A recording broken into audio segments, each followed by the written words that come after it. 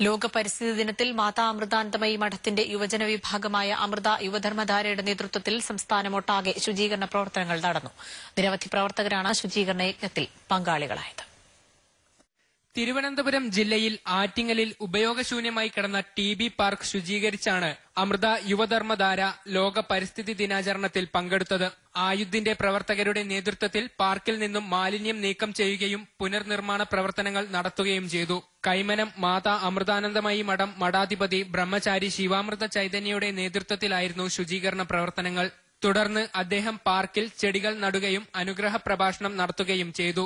ഒരേ സമയം തന്നെ നമ്മൾ ചെടികൾ നട്ടുപിടിപ്പിക്കുക അതോടൊപ്പം തന്നെ പെയിന്റെല്ലാം അടിച്ച് പാർക്ക് വൃത്തിയാക്കുക. ഇപ്പോൾ ശുചീകരണ യജ്ഞവും പ്രകൃതി സംരക്ഷണവും ഒരേ സമയം നമ്മളിവിടെ നടപ്പാക്കുകയാണ്. അതിൽ നമ്മുടെ എല്ലാ ചെറുപ്പക്കാരുടെയും സജീവ പങ്കാളിത്തം നമുക്കെല്ലാവർക്കും വളരെ ശുഭകരമായിട്ട് അനുഭവപ്പെടുന്നുണ്ട്. ഇത് പുതിയ നാടിന്റെ പുതിയ വികസനത്തിനുള്ളൊരു കാൽവയ്പ്പാണ് ചെറുപ്പക്കാരുടെ എല്ലാം സജീവ പങ്കാളിത്തം ഭാവിയിലേക്കുള്ള വാഗ്ദാനമാണ്. അമ്മയുടെ സ്വപ്നങ്ങൾ പൂവണിയാണ് ഇവിടെ സംഭവിച്ചുകൊണ്ടിരിക്കുന്നത്. ആറ്റിങ്ങൽ മുനിസിപ്പൽ ചെയർമാൻ എം പ്രദീപാണ് നവീകരിച്ച പാർക്ക് ഉദ്ഘാടനം ചെയ്തത്.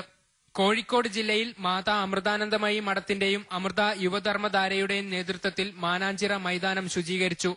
Kozhikode assistant police commissioner Sudarsanan ശുചീകരണ പ്രവർത്തനങ്ങൾ ഉദ്ഘാടനം ചെയ്തു.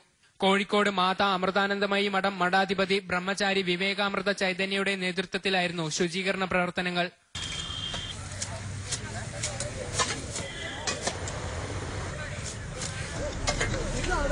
മലപ്പുറം ജില്ലയിലെ എടപ്പാൾ കുറ്റിപ്പാല മാതാ അമൃതാനന്ദമയി മഠത്തിന്റെയും ആയുധിന്റെയും നേതൃത്വത്തിൽ മാലിന്യം നിറഞ്ഞ് ഉപയോഗശൂന്യമായ കുളം വൃത്തിയാക്കിയാണ് പരിസ്ഥിതി ദിനം ആചരിച്ചത്. വർഷങ്ങളായി മാലിന്യവും പായലും നിറഞ്ഞ് ഉപയോഗശൂന്യമായിരുന്ന കുളമാണ് കുറ്റിപ്പാല മാതാ അമൃതാനന്ദമയി മഠത്തിന്റെയും ആയുധിന്റെയും നേതൃത്വത്തിൽ വൃത്തിയാക്കിയത്. ബ്രഹ്മചാരിണി അതുല്യാമൃത ചൈതന്യ പ്രവർത്തനങ്ങൾക്ക് നേതൃത്വം നൽകി. കാവുകളും കുളങ്ങളും സംരക്ഷിക്കുക എന്ന അമ്മയുടെ സന്ദേശം ഉൾക്കൊണ്ട് നിരവധി പ്രവർത്തകർ ശുചീകരണ യജ്ഞത്തിൽ പങ്കെടുത്തു. വിവിധ ബ്യൂറോകളുടെ സഹായത്തോടെ അമൃത ന്യൂസ് തിരുവനന്തപുരം.